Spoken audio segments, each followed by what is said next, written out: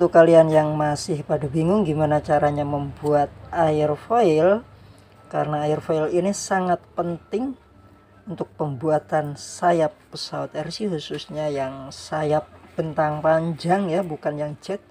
Saya akan tunjukkan gimana cara membuatnya. Saya buat.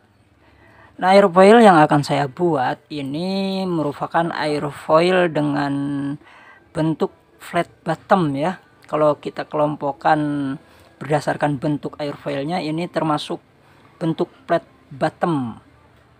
Karena ada beberapa bentuk ya airfoil itu ada symmetrical ada semi symmetrical ada under cambirid ada juga refleksi. Ya nanti kita bahas di kesempatan selanjutnya. Nah ini saya buat dari uh, polyfoam ya. Beda lagi kalau misalkan proses pembuatannya itu menggunakan gabus. Gabus dekor seperti itu itu kan ada alatnya lagi ada pemanasnya langsung jadi. Ya kalau membuat dari bahan polipom ini kita harus uh, buat beberapa bagian ya. Oke langsung saja kita contohkan cara pembuatannya. Untuk membuat airfoil maka kita harus mengukur terlebih dahulu lebar sayap pesawat RC nya di sini saya untuk sayapnya 15 cm maka untuk membuatnya jangan pas 15 cm sini kita buat 14 cm supaya ada gap untuk bagian penutup sayap bagian atas ya. Nah jadi nanti ada gap tuh bagian belakangnya setengah cm bagian depannya juga setengah cm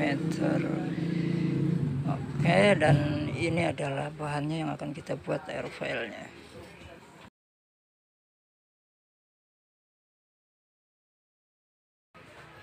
sini saya membuat 6 buah aerofoil. Jarak antar garis adalah 1,3 cm. Untuk bagian lengkungan itu jaraknya 4 cm.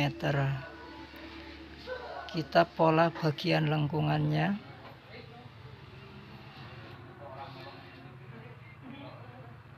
Tarik garis lurus dari ujung ke lengkungan yang paling atas. Setelah itu kita potong menjadi enam buah bagian. Perhatikan pada video cara memotong bagian lengkungan.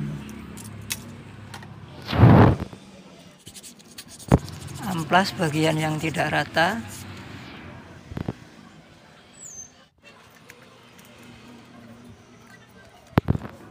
Satu kan kita akan melihat bagian yang tidak rata lalu amplas kembali air foil siap digunakan sempurna. Terima kasih